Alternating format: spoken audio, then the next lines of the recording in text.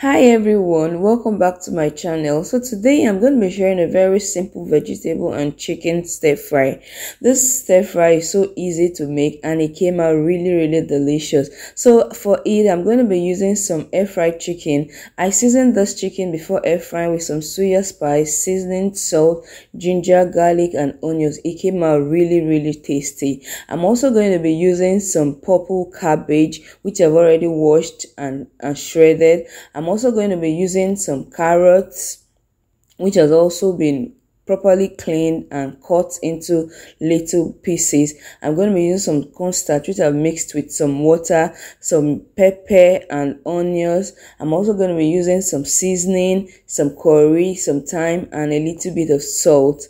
Then I'm also going to be using some chopped garlic and chopped ginger. I love garlic and ginger in my recipes. And lastly, I'm going to be using some oil. This oil was decanted while air frying the chicken. So that's what I'm going to be using for the stir fry. So yeah, let's get into making it. It's super easy to make and it was ready in less than 15 minutes. So to start, I'm going to be adding the oil into the pan. As soon as it gets hot, I'll pour my ginger and my garlic into it and give it a good stir so it doesn't burn for a couple of seconds.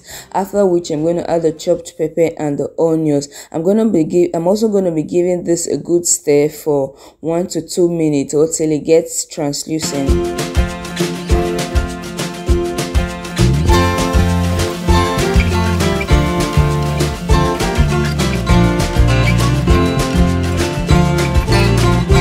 So next, I'm going to add the chopped veggies into the pan. As soon as the veggies goes into the pan, I lower the heat a little bit because I like to cook my vegetables on low heat to preserve their nutrients.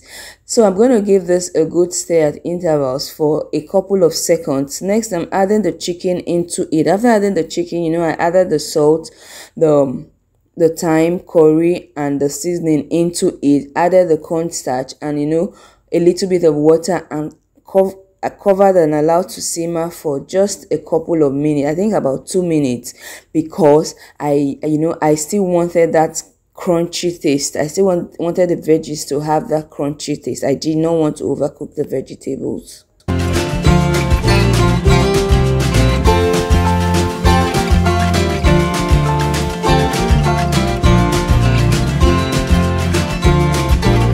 So I'm going to be adding some lettuce into it. As soon as the lettuce goes into it, I'm turning up the heat. So I'll give it a good stir Stir everything to combine and the stir fry is ready. It was a pretty easy one and you know, it's something I like to make when I'm clueless about what to cook because it's so easy to make and you can make it with whatever vegetables you have at home.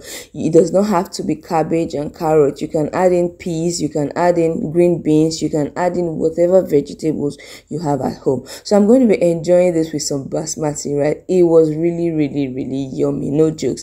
It was yummy. So thank you for watching. I hope you enjoyed this video. Please give it a thumbs up like share and subscribe to my channel. I'll see you in my next video.